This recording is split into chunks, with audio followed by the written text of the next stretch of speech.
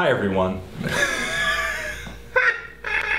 Anthony Fantano here, internet's busiest music nerd, and doing a little list. I've been wanting to do something like this a while, a short 10 song list of my all-time favorite Velvet Underground songs. The Velvet Underground, they have a number of documentaries about them. Some of them are actually on YouTube and you can watch yourself. Those can condense the band's history and just their place contextually in music better than I can in a short video for sure. But, uh, but the Velvet Underground are an important band to me.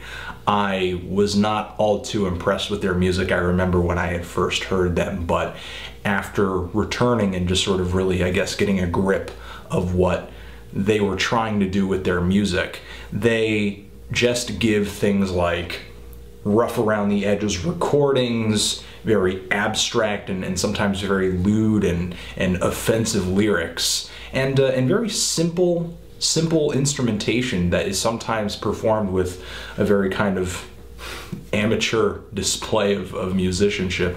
All of these things um, to me, which originally were not all too impressive, all of a sudden kind of became impressive and uh, in a way became kind of, of beautiful. I feel like it takes a special band, a special group of people who have a, a really great vision to take things that people usually classify as being bad, ugly, sort of mm, subpar, and really make them great, really turn them into something special and, and kind of unique.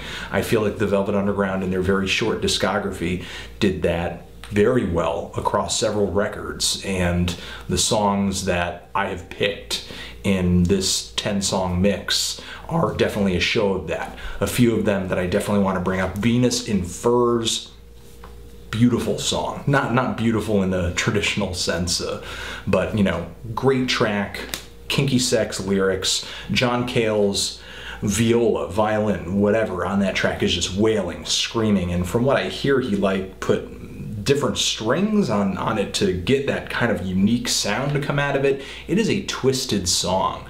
Furthermore, Sunday Morning, in my opinion, one of the most beautiful songs to ever be written, period.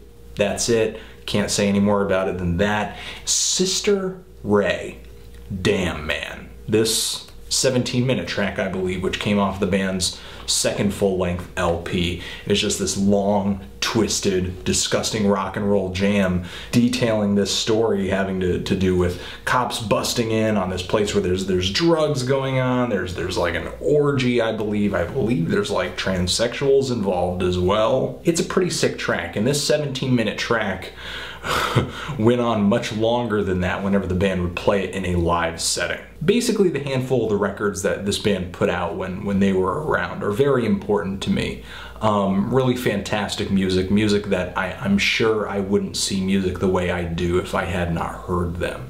And um, basically looking to kind of share them with you guys. Like I said, this list is below this video. I listed it out via text. You can search any of these songs on the internet and probably hear them, but the entire list of tracks is also available to stream on Spotify as well. So follow those links, read that list easily, put it together pretty fast. My favorite Velvet Underground tracks of all time.